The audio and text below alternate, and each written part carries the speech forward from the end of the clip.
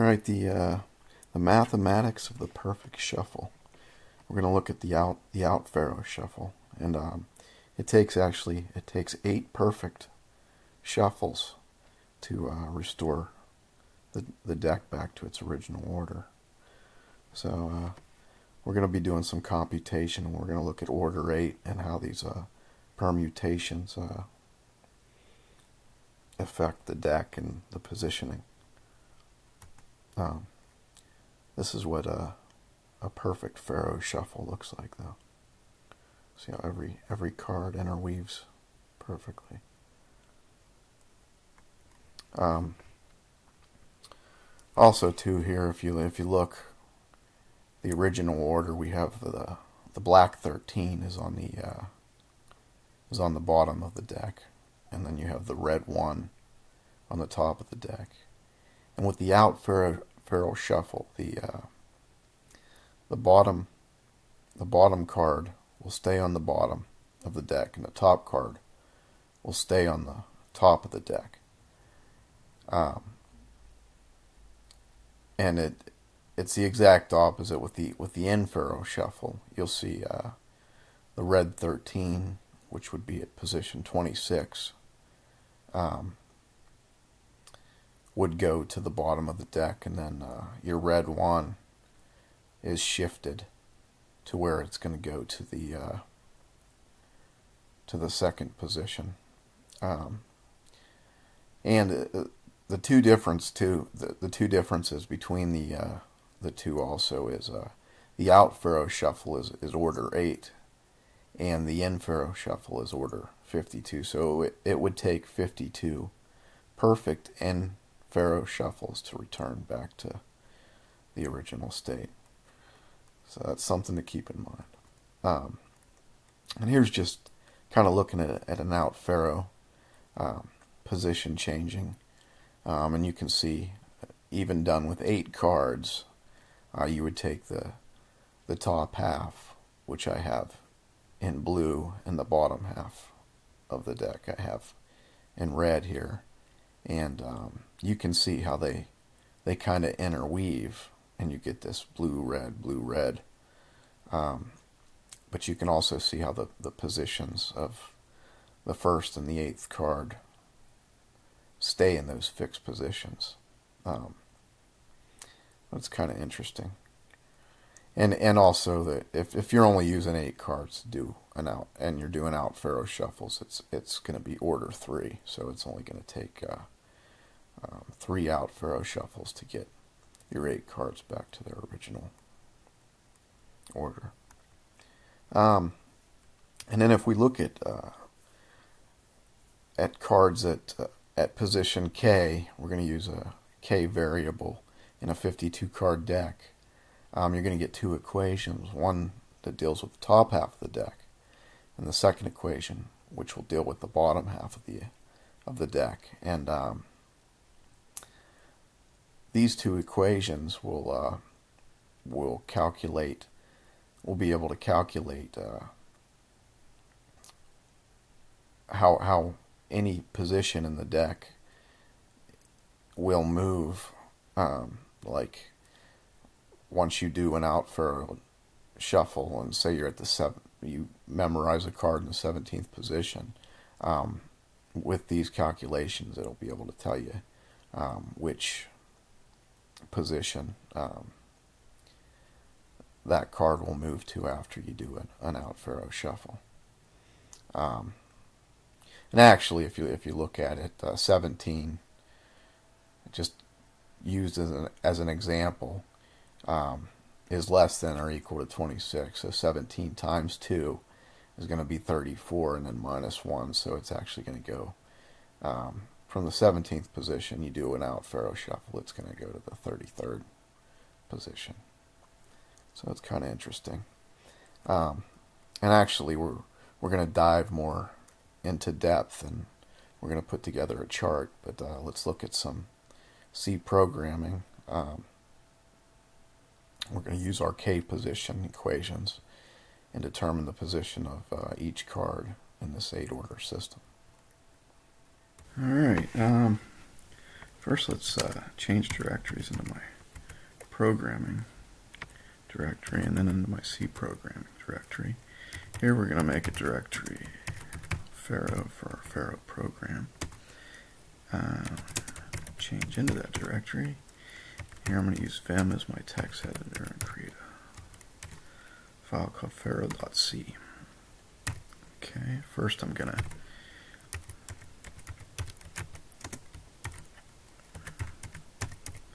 include our standard in out header file. Um, how it's labeled too. This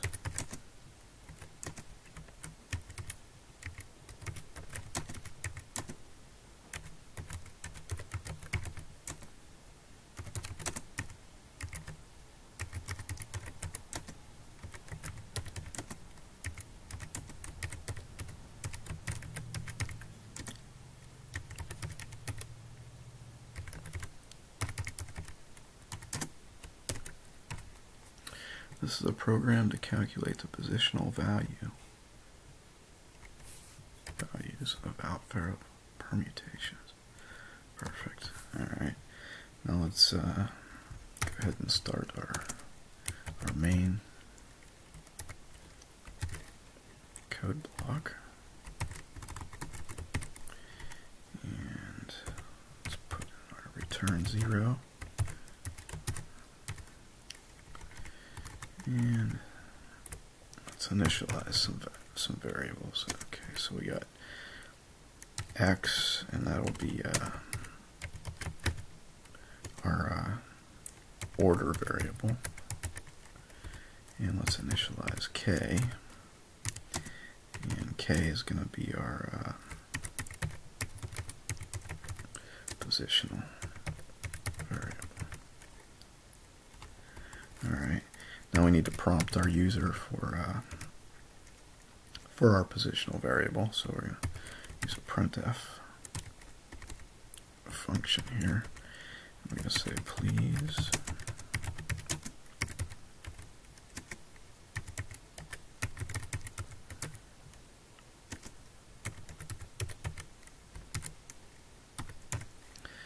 Okay, please enter the positional value. Next we're going to use scanf scanf function to get uh, information from the keyboard.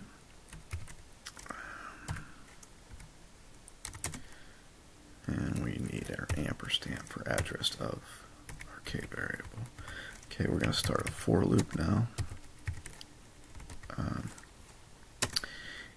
we're going to set our x equal to 0. And we're doing order 8, so x is less than 8 and we're actually going to uh, increment our x variable as we go along. Um, next thing, I'm going to get some space to keep us in the middle here. Uh, the next thing we're going to need is some conditionals. So we know that uh, our position, our positional va value can't be um, less than 1 and it can't be greater than 52. So we're going to say if uh, k is less than 1, and we'll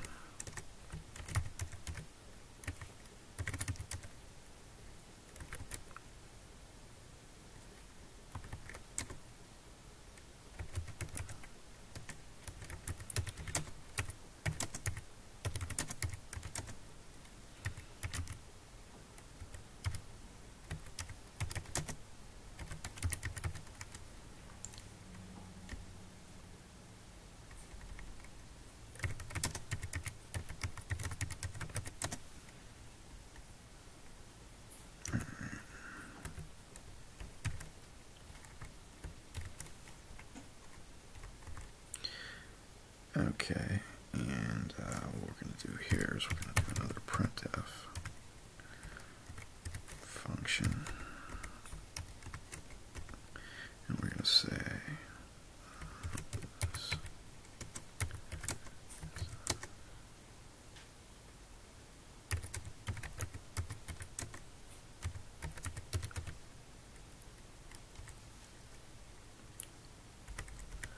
then we'll just actually do a break statement to break out of the to break out of our uh, for loop.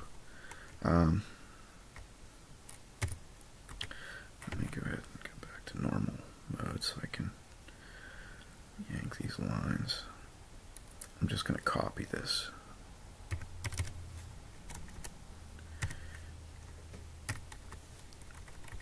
And our next condition will be when our position is greater than 52. Okay, now set some other conditions here. Um, we have fixed positions to where um, K doesn't change, and we have two fixed positions. We have uh, position 1 and position 52 do not change in the uh, the out shuffle. So we're going to say uh, if uh, our positional value of k is equal to 1, and we'll just say uh,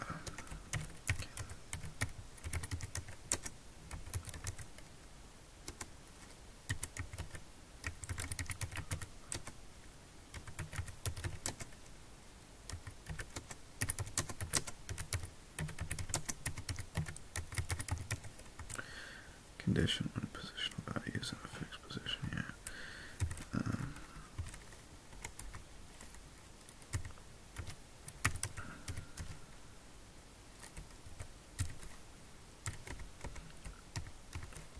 and we'll just actually this will just return the value of 1 if 1's entered. Um, and we're also going to use a break statement to break out of the loop. Alright. Uh,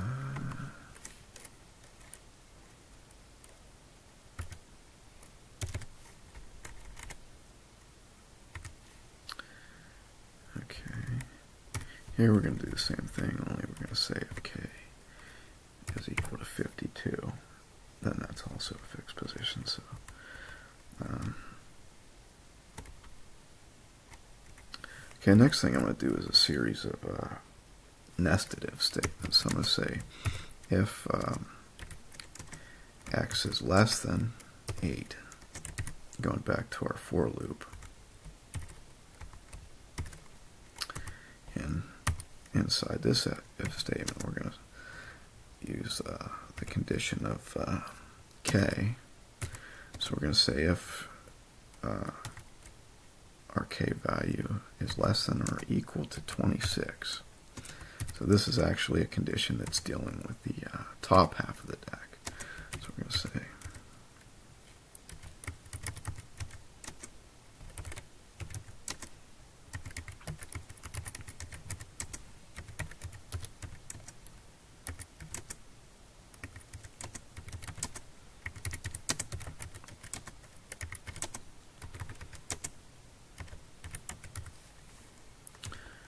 Addition when positional values in the top of the deck, yeah. Um, and the first thing we're going to do is increment x, or yeah, x. Um, and then we're going to set k equal to k times 2 minus 1. Use a printf statement.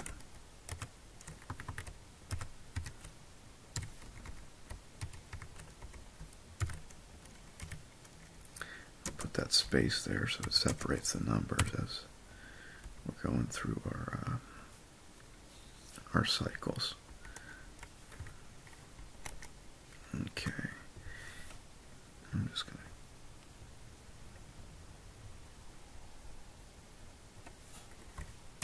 copy that because it's similar. Um, we're going to do another nested if statement. We're going to say if x is still less than 8. Um,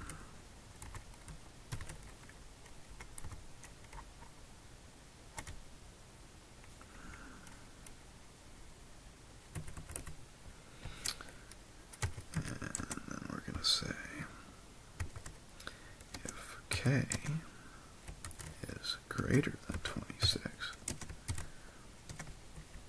And that's a condition the bottom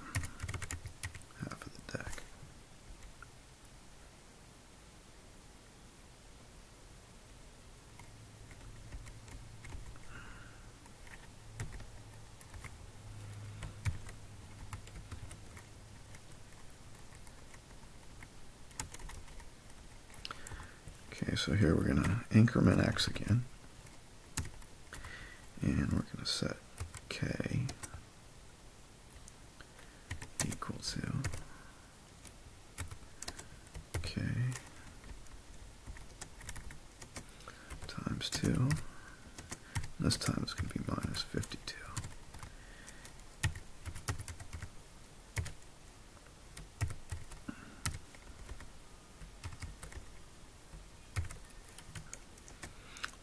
space.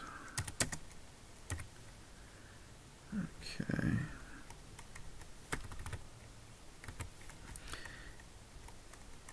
And I'm going to put one more uh, printf, and I'm, I'm just going to actually, oops, I'm going to just put a new line here just to keep everything neat. Um, let me just kind of go through real quick to see if I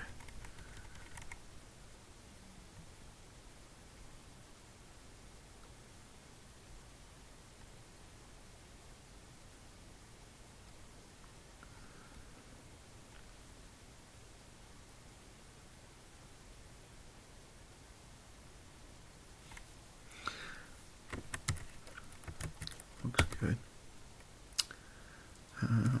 Let's use GCC dash O for our out file. Be uh, we'll call it Faro, and the file we're compiling is Faro.c.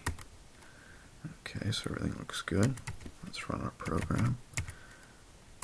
Okay, first let's test our uh, condition, our conditional, our conditionals that we set. Uh, so we know that our positional value cannot be less than 1, so let's say negative 4.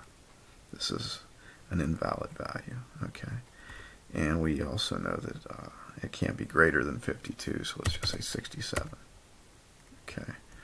Um, and then we set conditional values uh, at fixed positions, so we know 1 is a fixed position and should return 1, which it does. And 52 is also a fixed position. Okay. Um, actually, what I'm going to do here is uh,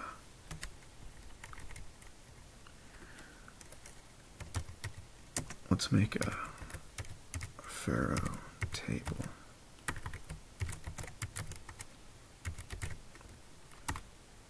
Okay. Set the number. Get rid of those side numbers. So. Okay.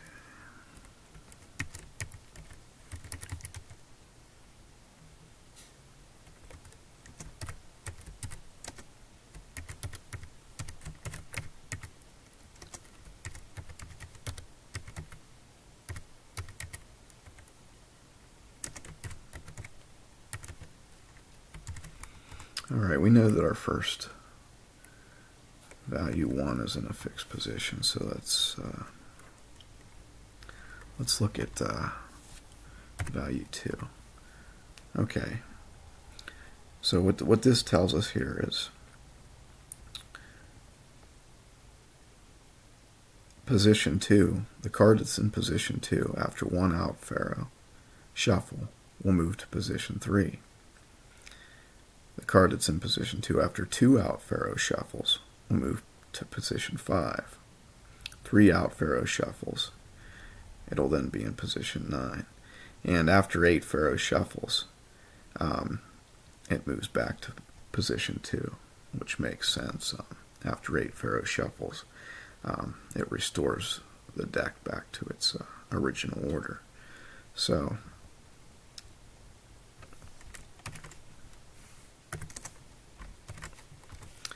the next value we we're going to look at is uh, four.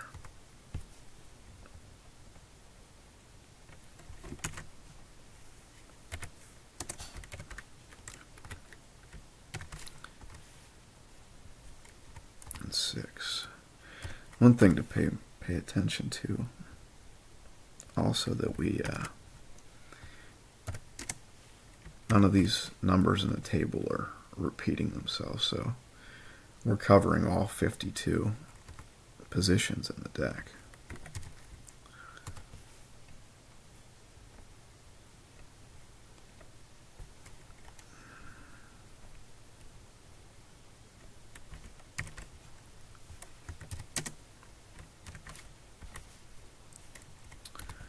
Next one would be 12.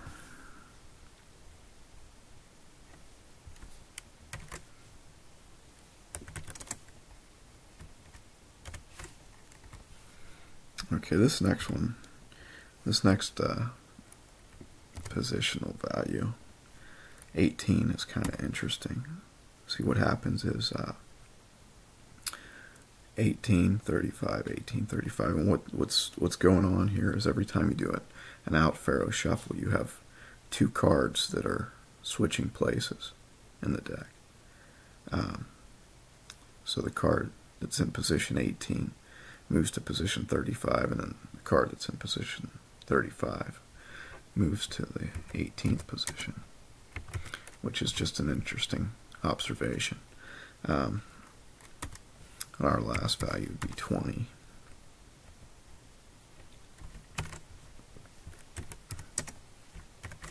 Well, and our fixed value of 52.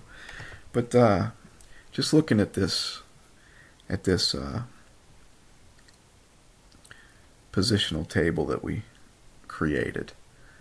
Um, there's a lot of interesting things you can do as far as uh, just math and then uh, faro shuffles in general. But just with the out faro shuffle, knowing any, um, as far as mnemonics go, being able to memorize a certain card in a certain position, and then doing a few out shuffles, you, you would be able to to predict or know exactly where that card is going to be. So I mean, say say you have a you know you know the ace of spades is in the eighth position. You know after um, two out faro shuffles, it's going to go to the 29th position. You know after three, it's going to go back to the sixth position. Um, but yeah, you can use any of these numbers to um, to tell where where that card will end up. So it's it's kind of interesting. Let's move on and check out some other things. Okay, I'm back. Uh, this is uh, just looking at our, our position changing uh, chart that we put together from our calculations. Um, we can see also that it it matches up with this graph, with which is is kind of interesting how you can um, just looking at the patterns involved with uh, with the eight eight different shuffles. You can see how the cards move around, and it's kind of interesting. And then I'm just further looking at this at this graph. We have uh, our function of f of k, and then we have our our two equations for the top and bottom half of the deck. Um, and you can see I, I labeled uh, our uh, our fixed positions uh, 1 and 52. Um, and you can also see that um, I labeled 18 and 35, which which was the, the position I talked about that uh, was unique to where it you have two cards that are, are, are continuously changing places. And if and as you can see in this in this uh, permutation graph, it actually uh, makes a makes a circle. So it's uh, it's just kind of interesting.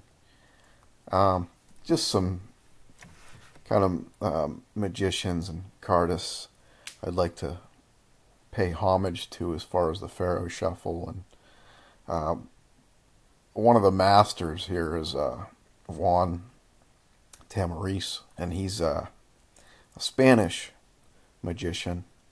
Um, and he, he's actually known uh, for several things, uh, mainly his, his book on mnemonics called Mnemonica, which is a, a, a real interesting book, but he uses several different faro shuffles to put to put a deck into his own order, which when you first look at it, it looks random, and it's uh, which is where the mnemonics comes comes from, and it uh, it's actually in, in an order that, that he knows by heart, and um, he does several things with that. He really designed uh, an entire art form around um, the mnemonics for the deck that he he uses, um, and it, it's really interesting. But uh, yeah, I'd just like to pay hom- homage to him as far as the Faro Shuffle and its uses. Um, someone else that's amazing is uh, Richard Turner, and uh, this guy can manipulate cards uh, better than anyone I have seen. I don't know, but uh, most people will, take and do a faro shuffle. Most people that you see do them, they'll take and they'll line the two decks up and uh, to where he, he does it on the table and he does it uh, just seamlessly, one after another, and uh, he he really makes makes it look like an art. Um, but yeah, he's a known uh, what they they would call a card mechanic. Um, one of the best, probably card cheaters in the world interesting guy. And also, too, uh, which I haven't even pointed out, is uh, the guy's actually blind. Um, but uh, yeah, seen several documentaries. One that's really interesting to check out is uh, it's called Dealt, and it's kind of all about him. Um, but there's other other magicians even talked about how he could uh, you could hand him like a pack of eight cards underneath the table, and he would take them in his hand, and he would he would know that there's eight cards there. He's also uh, synonymous with uh, what you call traditionally cut cards. They used to back in the day cut cards um, from I think face to bottom, and it would uh, create kind of the the bevel the beveled edge would would be in that direction, and then um, the mechanics and the the machinery changed to where they started cutting them um, the reverse way, and uh, Richard Turner, kind of uh, amongst other magicians, I'm sure noticed that they interweaved better um, the older way they were cut. So he has several decks that he even put out that are traditionally cut um, and that's where he kind of becomes synonymous with that with that term. Um, but yeah, very interesting guy. Um, also, the uh, Alex Elmsley. If if you ever heard of the Elmsley count, it's uh, a way to to count. It's usually done with four cards, um, but you can you can show like your spectator. You can show um, four cards to where you know one can either even be face up, and he does this Elmsley count. He does this count where um, it makes it look like the card kind of disappears. Uh, but that's one thing that he's famous for. But he's also uh, he's a Scottish magician, and he's uh, was also a computer programmer. So he has several books out. Um, but uh, he discovered with faro shuffles um, to bring a card um, on the top of the, of the pack or deck to any desired position. You would subtract one from that desired position, then express the result as a binary number, um, and then use it as instructions for a series of in and out uh, faro shuffles, and the card will end where you want it to end in that position. Um, so I recently read up with on this and seen seen it in practice, and it's it's interesting. But um, yeah, so in in this process, the binary, um, the ones would represent in shuffles, while the the zeros will re- represent out shuffles. And then I have an example listed here, and I got this all off of uh, Wikipedia. But uh, the example is if the top card, say you wanted that top card, and you wanted to move it into the 23rd position, uh, first you would take 23, subtract 1, and you get 22. And uh, that number in binary would be 10110. So then you'd do a series of shuffles. You'd do uh, an in, out, in, in, out. And um, that card would move to the 23rd position. So very, very interesting. Oh, that's just some. I'm just wrapping it up. That's just um, some magicians and cardists that I'd like to pay homage to as far as uh, uh, how the math and and um, how the cards and just everything kind of progressed through these these three guys. So uh, yeah, if you're interested, you know, check it out, and I appreciate it. Have a good one.